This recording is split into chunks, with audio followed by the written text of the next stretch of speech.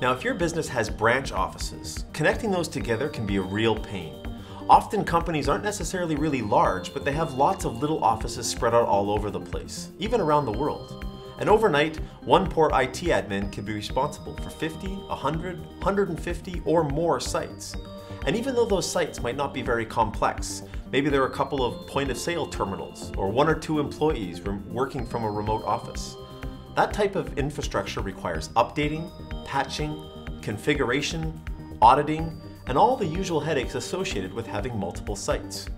So rather than try to make that part simpler, we thought we'd simply reinvent all the ways that branch offices are plaguing admins. And we do that with a device that we call RED.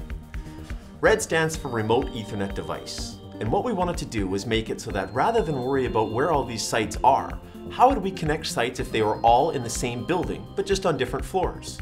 What we would do is we would run switch ports from each floor down to our main UTM firewall. And from there, we could configure them individually, separately, by department. And all of the advantages about having them in the building, we've now ported to a worldwide solution. All you need is a magic number on the bottom of the device. And once you have that, you can then set it up in your UTM in a matter of seconds.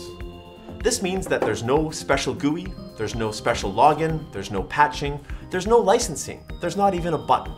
All you do is buy the solution one time for a fixed price, and you never have to manage that particular remote office again. Everything is done centrally from within the product. We do that here by going to Red Management.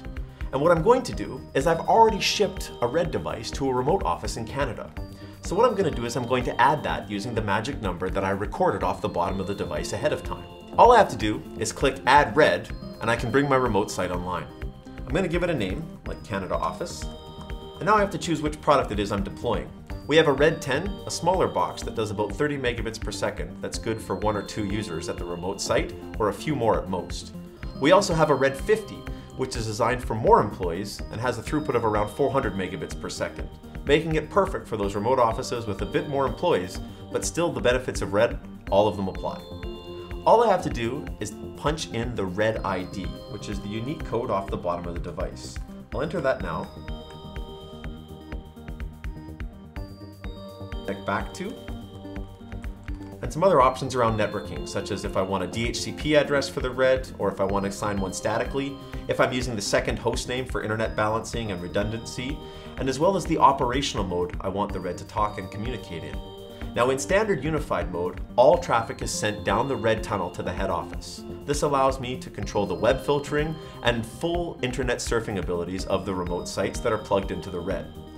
In standard or split mode, only traffic that's destined for the corporate LAN here at the headquarters will come down the tunnel. Everything else will go locally out their connection there at the branch. And in transparent mode, I gain access to a few more advanced parameters, like being able to control the DHCP addresses and other network topology at the remote site from here at the main office. I'm going to use standard unified and then click save. Now what happens is the UTM then takes all of that configuration, bundles it up, and sends it up to a provisioning server that's located in the cloud. We now then watch for that remote site to make a connection. When it boots up, the provisioning server will tell it which product, ours here at the head office, owns that particular red, negotiate the connection between the remote office and our head office, and then it steps out of the way. At that point, we have a dedicated connection between our remote red device in Canada and this head office here. All we have to do now is go back to overview, and in a second we just click refresh and our device will be online. So we can see after clicking refresh that our remote site is now online, and we can work with them as if they were simply upstairs on another floor.